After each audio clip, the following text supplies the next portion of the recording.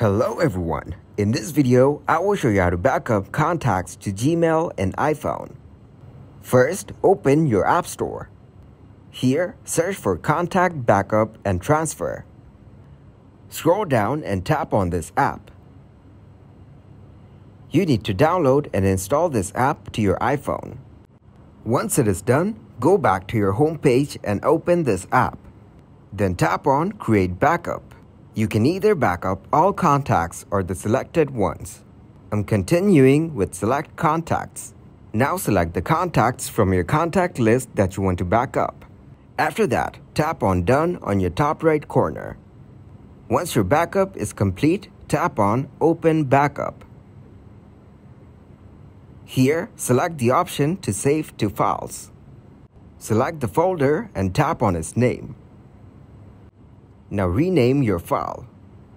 Once you're done, tap on Done. After that, hit the Save button to save this file. Your backup has been completed and saved to your device. Tap on Done. Now close this app and open the Safari app. Once you're in Google, tap on your profile. Then tap on these three dots right next to it. Here, go to Contacts. Now tap on Menu tap on Import. After that, tap on Select Files.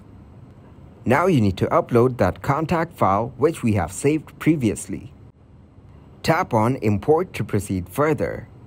As you can see, our contacts have been uploaded to our Gmail account.